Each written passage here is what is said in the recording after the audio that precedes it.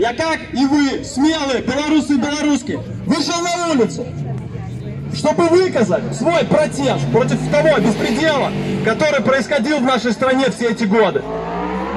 Я был задержан и осужден на 15 суток. Мне повезло. Я не столкнулся с тем ужасом, с которым сталкивались люди на Окрестино. Но все равно я сталкивался с унижением, избиениями и оскорблениями и угрозами. И сегодня я не могу вернуться домой, как и большинство из вас, потому что в нашей стране авторитарный фашистский режим захватил власть. В 2020 году мы восстали, впервые за долгое время, чтобы положить конец этому беспределу. Но, к сожалению, я должен сообщить вам, революция 20 года проиграла.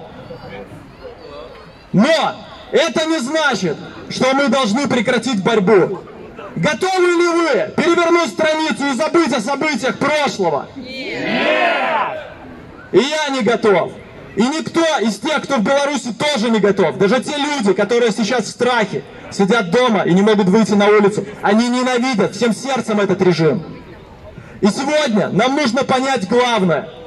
Наша победа зависит не от этих людей, не от политиков из Брюсселя.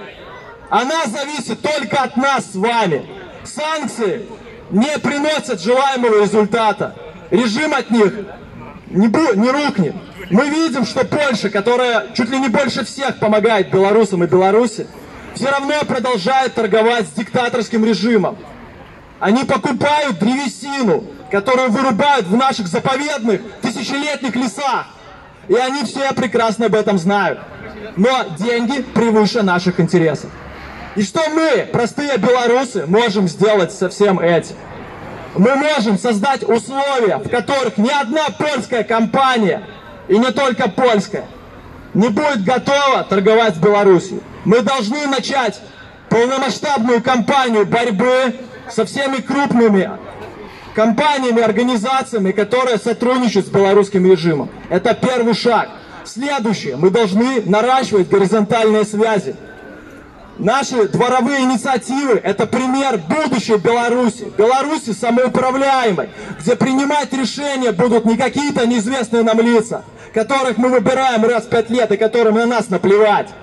А выбирать, а решать и выбирать что-то будем мы в своих дворах и передавать решения дальше нашим делегатам, которых мы сможем отзывать. Мы должны построить Беларусь новую, Белоруссию прямой демократии. И это тоже один из шагов. Самое главное, что мы должны понять. В прошлом году мы мирно вышли на улицы. Мы не хотели эскалации конфликта, потому что многие боялись насилия со стороны силовиков. Но что мы видим? Войну начали одни, полномасштабную. Наши политзаключенные, не политзаключенные, военнопленные. У нас оккупационная хунта. И пора нам взять в руки винтовку и вернуть власть в нашей стране. Беларусь будет свободной!